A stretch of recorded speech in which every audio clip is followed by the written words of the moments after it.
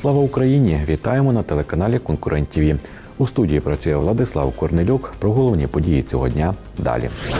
На Волині правоохоронці викрили злочинну групу, яка організувала бізнес на наркотиках. Як повідомляє головне управління поліції Волині, 1 квітня співробітники управління боротьби з наркозлочинністю затримали 45-річного лучанина, який організував наркобізнес. Під час обшуку вдома у бізнесмена знайшли більше півтора кілограма канабісу. До незаконної діяльності зловмисник залучив ще трьох хлопців 23, 19 та 20 років, які виконували функції фасувальників збувачів. У них вилучили півтора кілограма канабісу, пакунки з травою, електронні ваги, пристрої для подрібнення та вживання. Відомо, що група наркоторговців щомісячно збувала наркотики з рук в руки у Луцьку та Луцькому районі 500 доз та отримували дохід приблизно 150 тисяч гривень. Загалом правоохоронці вилучили близько трьох кілограмів канабісу, що за цінами чорного ринку становить 300 тисяч гривень. Волинь відправила черговий вантаж гуманітарної допомоги.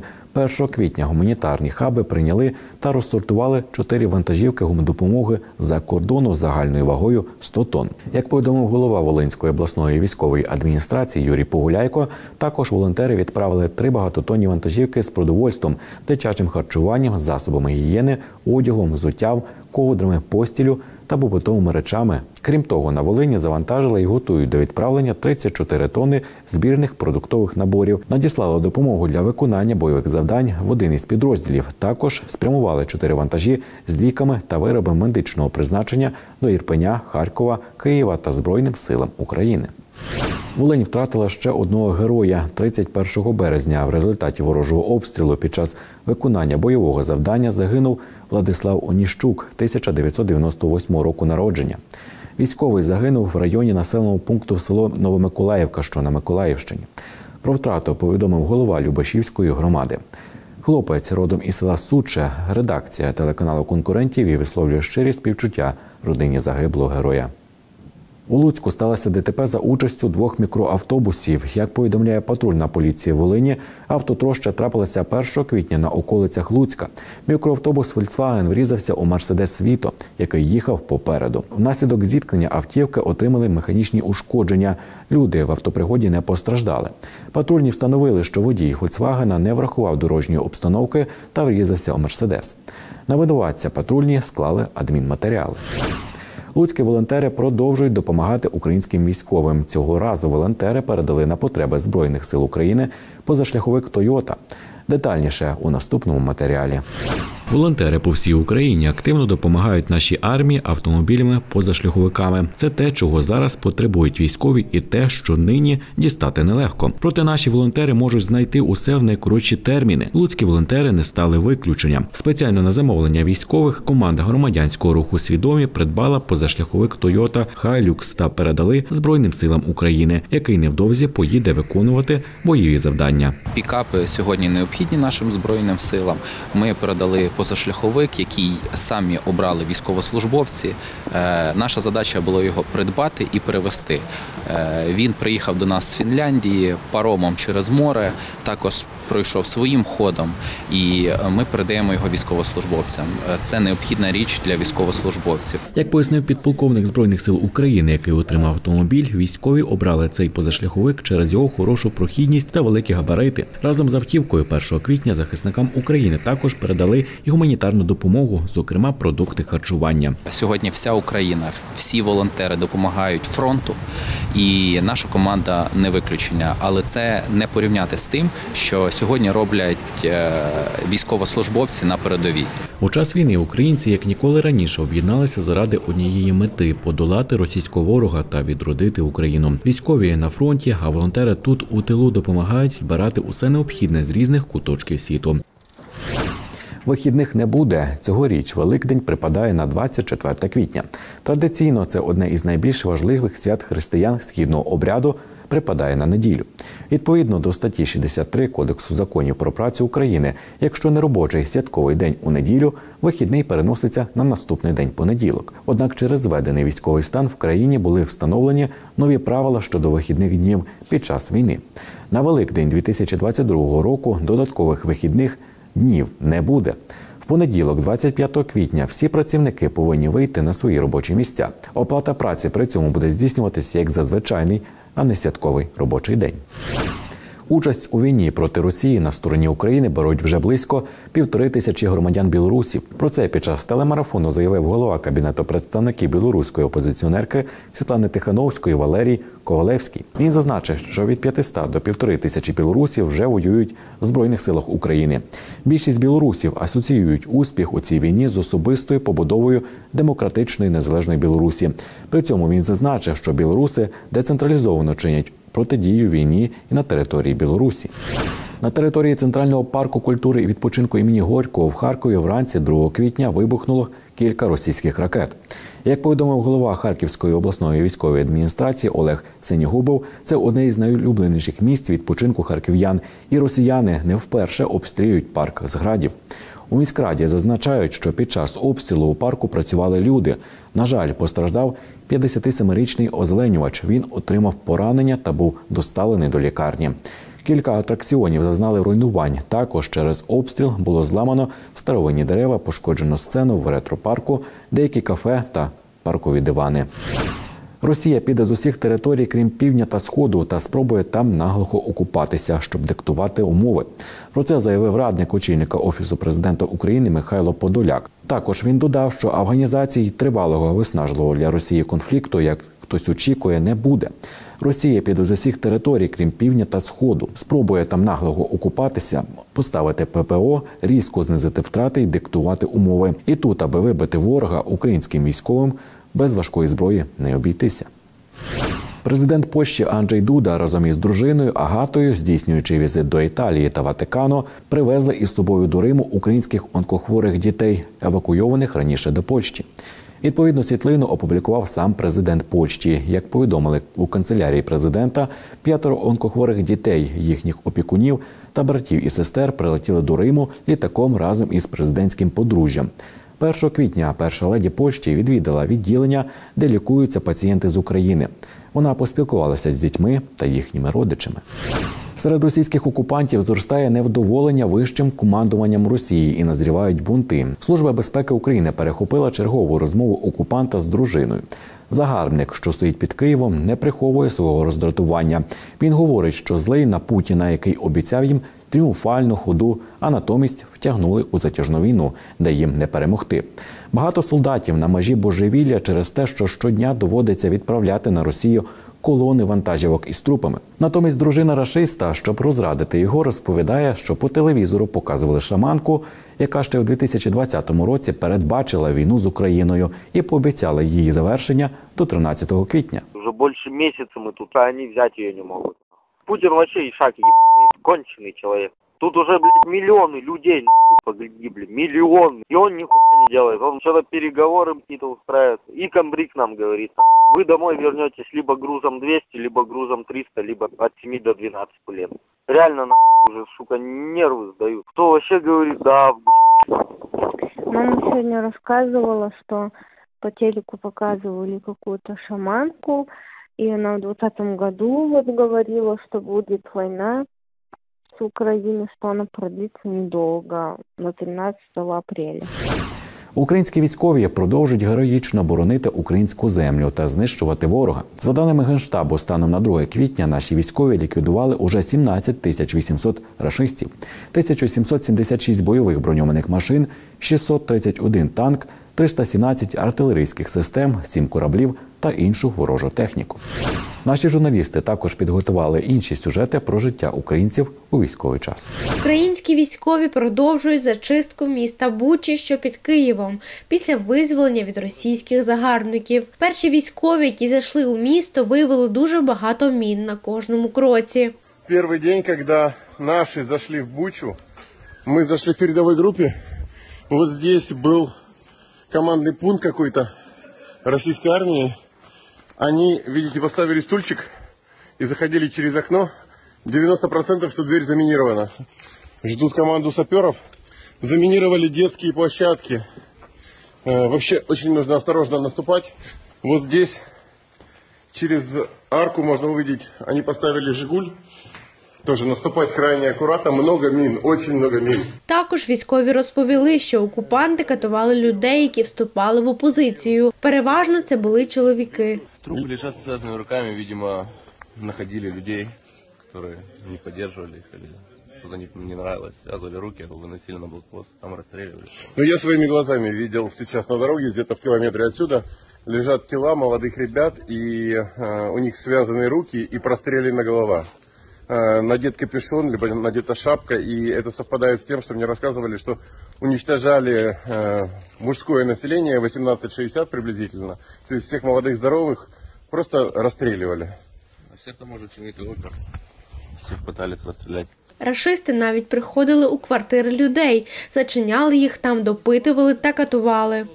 Це була у них одна із баз білорус і чеченець. Конкретно їх катували, тримали чотири дні у цій кімнаті. Їх з чоловіком. Чоловіка постійно били. Вона просила хоча б не бити чоловіка при мені. В квартирі трохи є крові.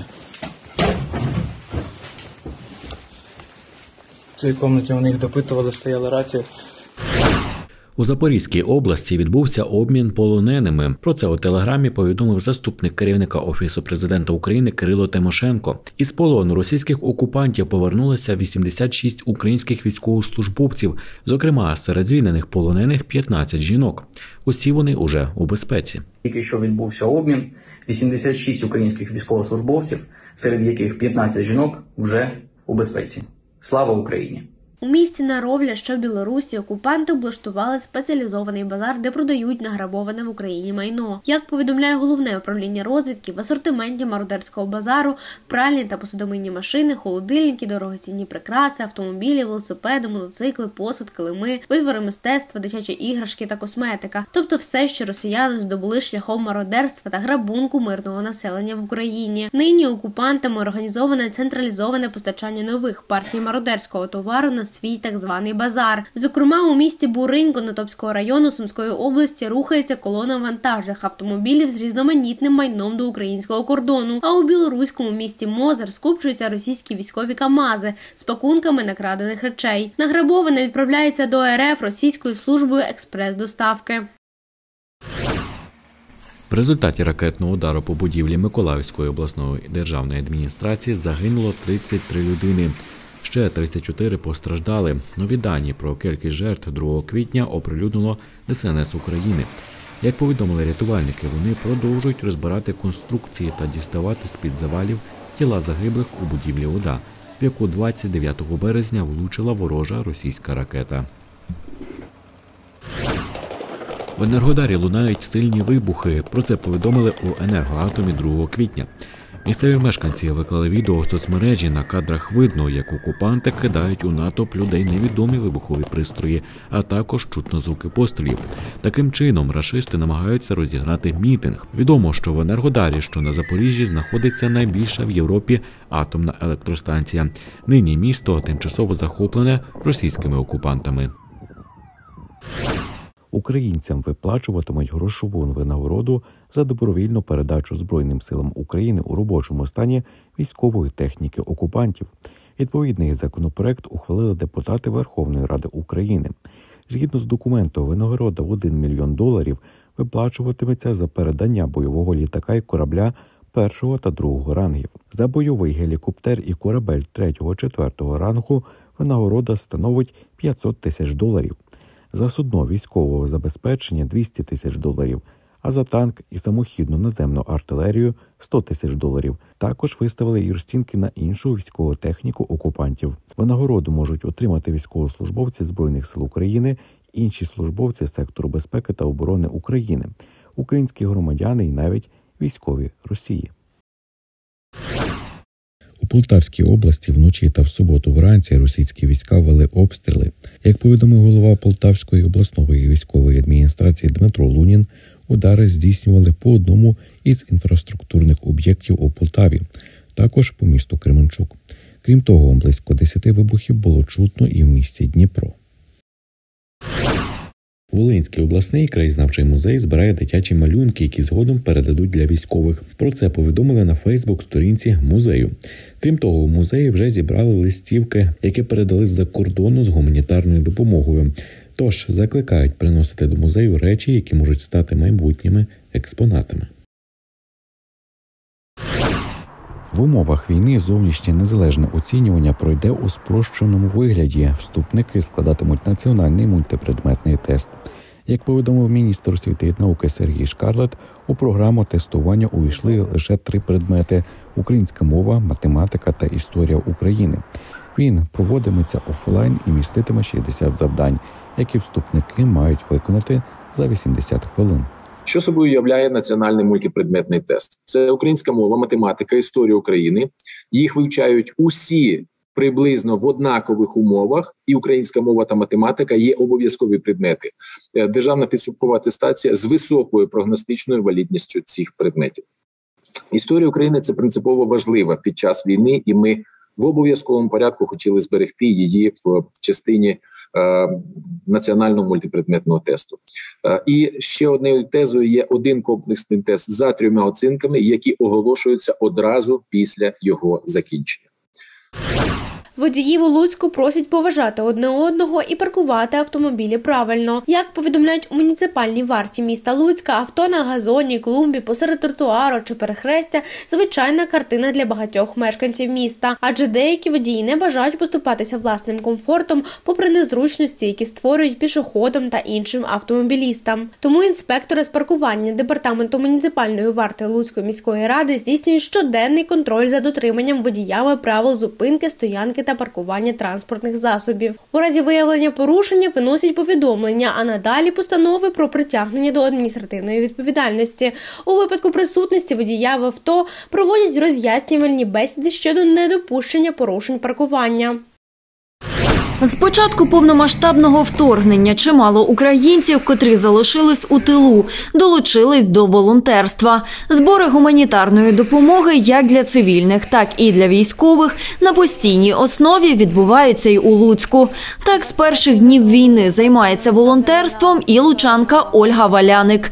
Однак під час збору військової допомоги волонтерка натрапила на непередбачену волонтерством комерційну діяльність. Про це лучанка розповіла на своїй сторінці у інстаграмі.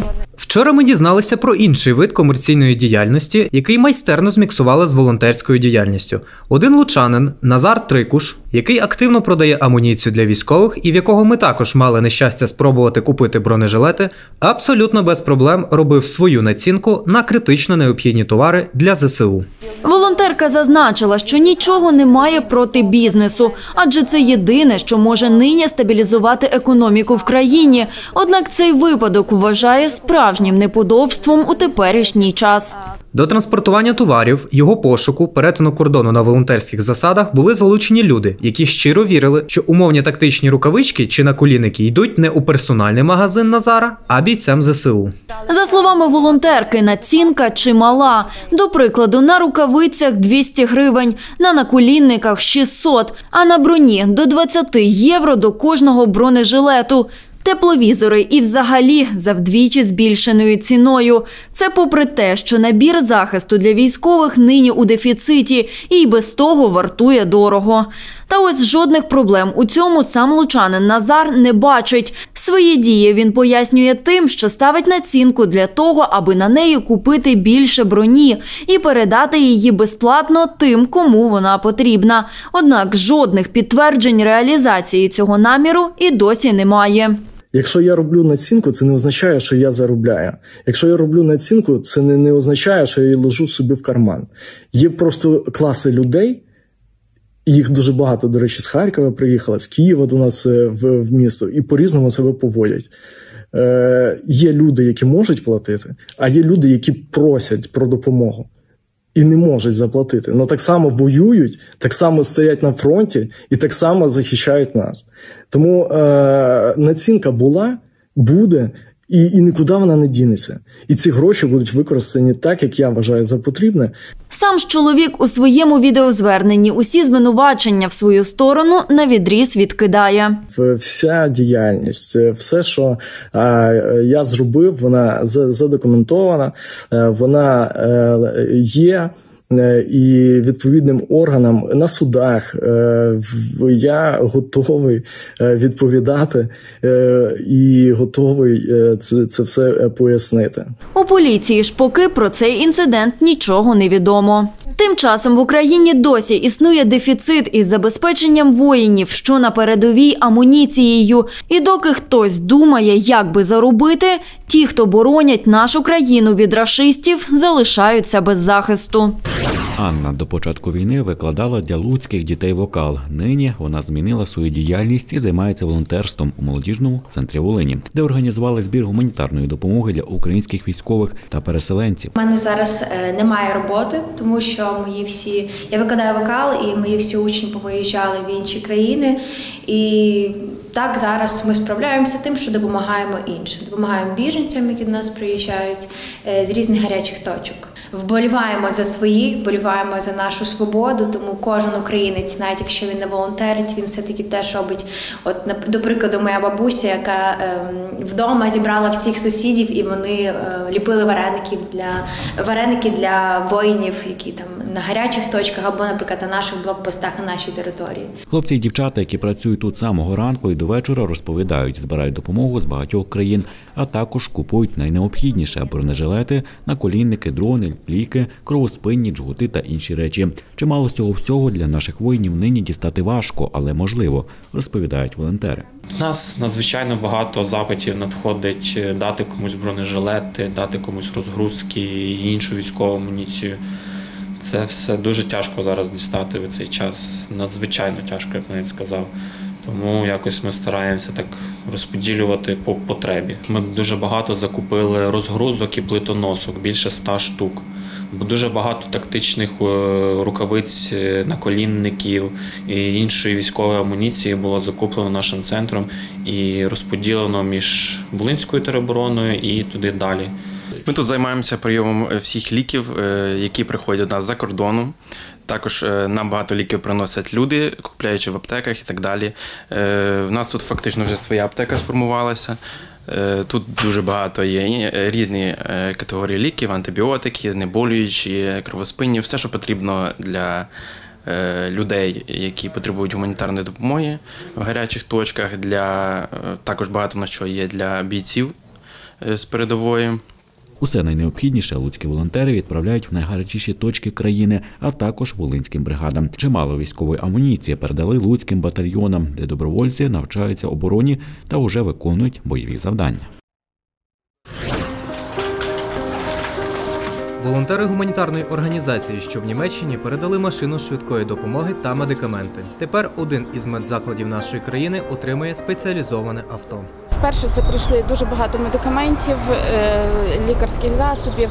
Е, Зараз прийшла е, спеціалізована спеціалізований автомобіль, швидка медична допомога. Відправляємо в різні регіони, які нас які потребують це і схід, і центральна Україна, тобто там, де ведуться бойові дії, де від де приходять запити, що їм потрібна допомога негайно. Найнеобхідніші ліки та медпрепарати одразу розсортували і відправили у різні локації.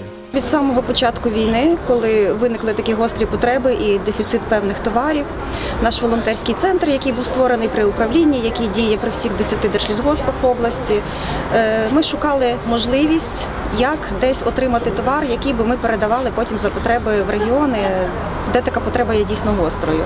І от е, гуманітарна організація Людина до людини з міста Вуперталь це була із тих, е, хто відгукнувся найоперативніше, і за нашим великим списком потреб дуже оперативно вони зібрали абсолютно всі матеріали і передали їх. Ми, ми вже тут розсортували і передали їх відразу на південь, центр, схід України, там, де найбільше тривають зараз бойові дії. Кожен допомагає військовим на передовій по-різному. Волонтери у тилу, залучаючи цінну для українців допомогу. Інші працюють, тим самим допомагають економіці функціонувати у час війни.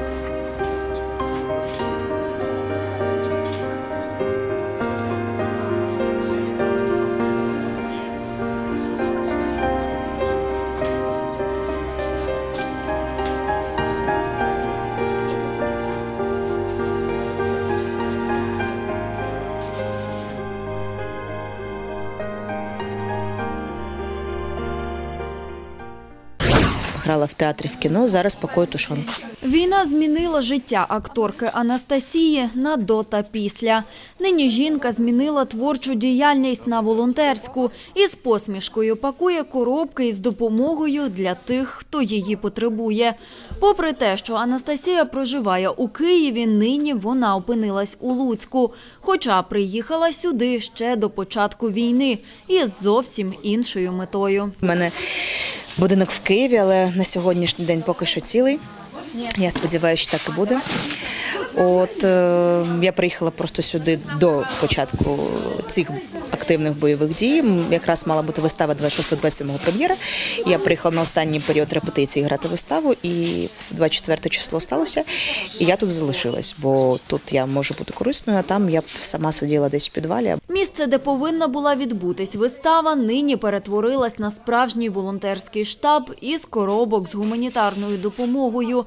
Війна кардинально змінила усе в просторі життя Гармидер Ангар Stage, зізнається режисерка театру Руслана Порицька. 23 лютого ми думали, що 26 лютого у нас буде прем'єра. Е, Прем'єра в тому числі про війну. А 24 лютого у нас почалася війна, і 24 лютого по обіді з ангару вже ми винесли усе обладнання е, для театру, для інших заходів і готувалися ну, до викликів, е, які ми маємо прийняти. Намагаємося дуже оперативно реагувати. Тобто сьогодні умовно це е, звільнене е, селище чи, чи місто на Київщині. Вже відразу до нас звертаються люди, з якими вже працюємо.